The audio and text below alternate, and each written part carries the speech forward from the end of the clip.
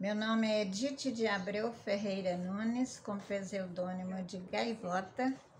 Sou de Governador Valadares, Minas Gerais. Estou visitando o sarau literário aqui em Serra, Espírito Santo. Vai uma poesia para vocês. Meu terceiro amor.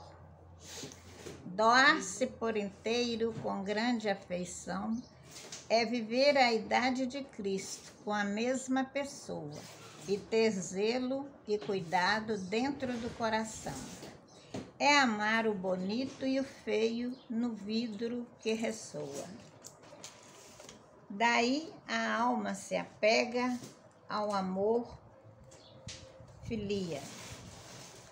Procria, educa, luta, vence ou não Forma-se o clã tão desejado, a família. Tecem amores, desamores, não abre concessão. No disparate da vida não há mais tempo. Tudo dói, tudo dói por dentro em desalento. Lágrimas incontidas cobrem a face. Um suspiro, uma dor no coração.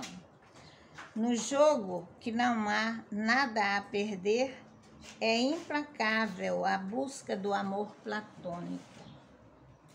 Num labirinto virtual para a alma socorrer, e a persona escuta e se encontra atônito. Este terceiro amor é para sempre, seja platônico ou de contato não precisa ser portentoso nem atraente. Ele existirá sempre e de fato. Muito obrigada.